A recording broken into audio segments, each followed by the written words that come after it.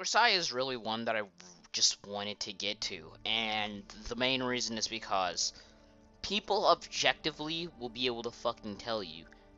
I, I will completely agree with them in this. If they call it shit, I don't fucking blame them because for most of the episode, all it was was eye porn.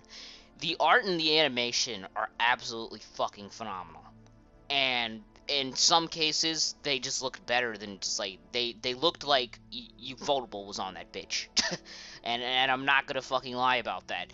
But or well, we're not counting the blue, but you get the point. In terms of characters, the show just kind of hey here's your Tatsuya of the fucking season, but he's not to be as good as Tatsuya because Tatsuya is Jesus.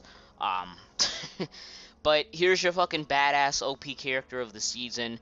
Uh, I do like his character though because he's a pimp, he's a jerk, he's a player, he's cool. I mean, just like he he's just fucking cool, of course. then there are all these other characters you get introduced to, like Amane, who's the slut. You got Makina uh, who reminds me of what the fuck's her name from Little Busters. You got Michiru, who's the blonde. You get Sakaki, the bitch that's just like random knife, bitch. And then you got the eight pantsu shots. The comedy was it was it was okay from what I remember. Uh, you know the one holy scene, they're masturbating. Like holy shit.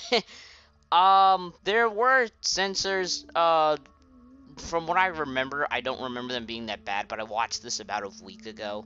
Uh, main problem is that almost everything that comes out of everybody's fucking mouth is irrelevant. Um, such as because everything they say, um, like, oh, I'm the leader of this club. There's only fucking six students in the school. You're the only one in the club. That makes it a hobby, not a fucking club. You get the point? Uh, they just throw you into a world. It's not developed or it's not world built at all. There's no world building whatsoever. Here are the characters, fucking deal with them. Here's a problem that we don't introduce you to till the you know last point of the episode. So it just feels as if they just threw shit in here just to throw it in here. Overall, I'd give it around like a either a high 5, low 6, maybe a 5.55. So this is like the second part of this review because the first part of this I'm actually going to take from the um, video I was going to do with the first impressions. I have that for the first episode done, so I figured let me just take that for the first episode, collaborate it with this from the second episode, and we'll be completely fine. Uh, so that's gonna work because there was some stuff in the first part of that that I really wanted to show. So, anyways, uh, let's get into Grisaia. Why am I still watching this? I really don't know. The animation is still eye porn. It's still insane, and the art is absolutely phenomenal. But uh, why am I still watching this? There's nothing that happens, and people would just be like, "Well, this is character development." But I really don't still remember half of these characters' names. Yet regardless of it being a visual novel, I I don't remember half of these characters' names. That's a problem. If all of this is character development and I don't know anybody's name, the, the character development's useless. There's no point. It really is. There's really no point. but um, let's let's just try to get into this episode. My God. Now let me just go ahead and start off with the bad, so that way we can just end on a good note. Uh, last episode, I'm really irked about this because they show us a sniper at the end of last episode, making us seem like there's going to be something that happens this episode. But they don't even hint towards what was the point of the sniper at all. And the first episode is really supposed to show you what we're supposed to have coming in store. But here's the problem.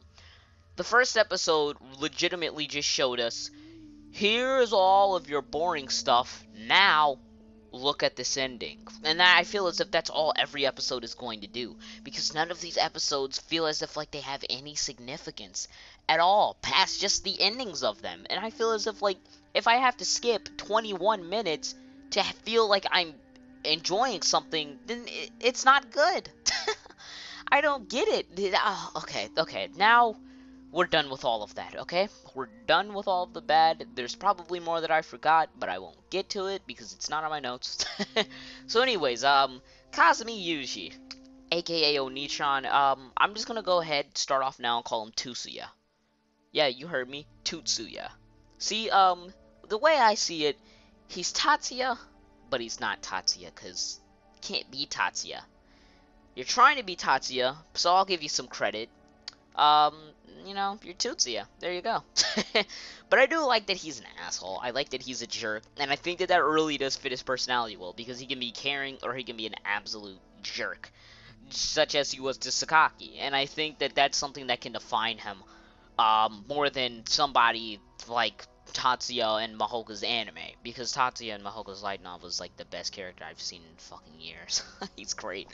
But um the other thing is that Sakaki is so senselessly overprotective and um what is the point of this? I know that they had said something about it earlier in the episode saying that she doesn't like somebody invading her territory, but I just don't see the point of it right now, especially since the only part of territory we've seen is just like five girls and she talks to barely any of them. The fact that she let the other five girls in completely fine is just being biased the fact that he's a guy and I just don't I don't see the point in that. That's that's all.